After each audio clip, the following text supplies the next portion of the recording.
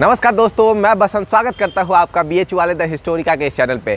आज के इस वीडियो में हम बात करेंगे स्पॉट राउंड से related, mop up round, PG का जो काउंसलिंग है, वो कब से स्टार्ट होने वाला है क्या क्या प्रक्रियाएँ होंगी और कैसे कैसे चीज़ें होने वाली हैं, इसके विषय में पूरी की पूरी जानकारी आपको इस वीडियो में मिलेगी। तो जैसा कि आपको पता है कि बारह नवंबर को अनाउंसमेंट हुई थी कि आपके बाईस और तेईस तारीख को पीजी की काउंसलिंग होने वाली है, लेकिन आज बाईस तारीख हो गया है, अभी तक कोई कहीं कोई खबर नहीं है कि स्पॉट राउंड की प्रक्रिया क्या होगी, कैसे क्या चीज़ें ऑनलाइन होंगी या ऑफलाइन होंगी। चलिए, आपको इस वीडियो में बता ही देते हैं। तो अभी अगर आप चैनल पर नए हैं तो चैनल को सब्सक्राइब कर लीजिएगा, क्योंकि बीएचयू से रिलेटेड पीजी से रिलेटेड सारी जानकारी आपको इस चैनल पर ताज़ा ताज़ा मिल जाएँगी। तो चलिए शुरू करते हैं। सबसे पहली चीज़ ये है कि आपकी जो मॉपअप राउंड की प्रक्रिया है, वो ऑनलाइन ही होने वाली है। कहीं भी ऑफलाइन आपको जाने की ज़रूरत नहीं है, आपकी सारी प्रक्रियाएँ ऑनलाइन होंगी।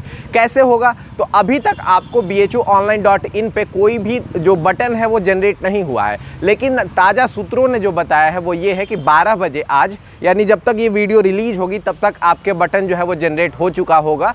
और उस पर जाकर के आपको अपना रोल नंबर और साथ में date of birth application number और डेट ऑफ़ बर्थ डालना है। डेट ऑफ़ बर्थ डालते ही आप जैसे ही क्लिक करेंगे, उसके बाद आपको दिखा देगा कि आप एलिजिबल हैं या नहीं हैं। कौन कौन से लोग एलिजिबल होंगे, पहले ये समझ लेते हैं।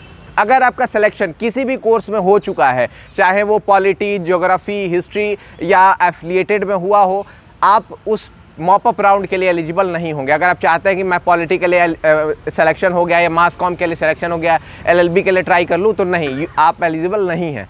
तो और एफ़, अगर एफिलेटेड में हो गया तो एफएमसी के लिए ट्राई कर लूँ तो भी आप एलिजिबल नहीं हैं। दूसरी चीज़ कौन लोग एलिजिबल हैं? तो एलिजिबल वही लोग हैं जिनका पेमेंट छूट चुका हो या प्रेफरेंस एंट्री रजिस्टर रजिस्ट्रेशन करने के बाद प्रेफरेंस एंट्री छूटी हो तो आप एलिजिबल होंगे।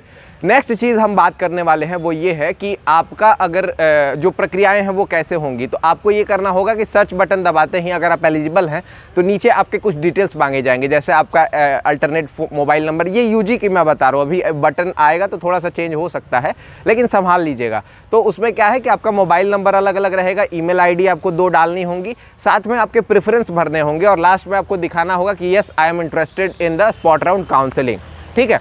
वो सारी क्लिक करने के बाद आप सबमिट करेंगे तो आपका प्रक्रिया जो है पूर्ण हो जाएगा, आपको अब आराम करना है और कुछ अब रिज़ल्ट कैसे आएँगे, इसके बारे में बात कर लेते हैं। तो रिज़ल्ट आपके पोर्टल पर ही जनरेट होगा और वहीं पर जहाँ पर आपके पेमेंट लिंक जनरेट होती थी, वहीं पर आपके पेमेंट लिंक आएँगे। जैसे राउंड्स घटते हैं राउंड जैसे a first round second round तो उसमें अगर आपका रिज़ल्ट आता है तो जैसे पेमेंट लिंक जनरेट होती थी, वैसे ही आपको कोर्स एलोकेशन सेक्शन में ही अपना चेक करते रहना है। और कोई बात नहीं है, कहीं भी कोई नोटिस बोर्ड पर नहीं लगने वाला, कहीं कुछ नहीं होने वाला। सारी प्रक्रियाएँ ऑनलाइन ही है, वहीं पर आपको पता चल जाएगा। एक महत्वपूर्ण बात जो इस वीडियो के अंत में बताना चाहूँगा जो मुझे अभी ध्यान आ रहा है जो बच्चे परेशान हुए थे वो ये था कि सर आ, मेरा एफिलेटेड में हो गया है सिलेक्शन या फिर सिलेक्शन वहाँ नहीं हो पाया मैंने पेमेंट छोड़ दिया तो अभी स्पॉट राउंड में क्या मेन कैंपस में आने के चांसेस हैं? तो एक बात आप पहले समझ लीजिए कि जो भी काउंसलिंग स्पॉट राउंड की प्रक्रिया है वो केवल और केवल आपके सीट को भरने का प्रयास है। अगर सीट ही नहीं बचा होगा तो फिर भरने का प्रयास कैसे होगा? जैसे अगर हम बात करें हिस्ट्री की तो हिस्ट्री की सारी सीटें यहाँ भर चुकी है। ई e की एक सीट बची थी कल तो उसको भी भर लिया गया है। तो इसलिए यहाँ पे मेन कैंपस में कोई सीट नहीं बची।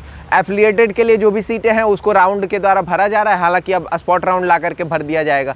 तो इसलिए आपको बिल्कुल भी अगर ऐसा है कि बहुत नंबर कम है, और स्पॉट राउंड को अगर आप मौके की तरह देख रहे हैं तो वो फिर नाजायज़ होगा। वो नहीं हो पाएगा, है ना? अगर सीटें बची होंगी तो ही वो मॉपअप राउंड का फ़ायदा आप उठा पाएँगे। अन्यथा आपका जो मॉपअप राउंड है, वो बिल्कुल सादा का सादा चला जाएगा, कहीं भी कोई भी सीट नहीं भरी जाएगी। तो ये रही आज के इस वीडियो में पूरी जानकारी मॉपअप राउंड से रिलेटेड बाकी जैसे ही बटन जनरेट होता है तो कैसे प्रेफरेंस भरना है, कैसे क्या चीज़ें करनी है, वो सारी जानकारियाँ तो हम आपको दे देंगे। तो बने रहिए बीएचयू वाले द हिस्टोरिका के साथ। मैं बसंत लेता हूँ अलविदा। अगर आप इस चैनल पर नए हैं तो फिर से बोल रहा हूँ, चैनल को सब्सक्राइब कर लीजिए और इस वीडियो को लाइक कर दीजिए। कमेंट करके आप अपनी परेशानियाँ भी बता सकते हैं। मिलते हैं अगले वीडियो में, तब तक के लिए जय हिंद, जय भारत।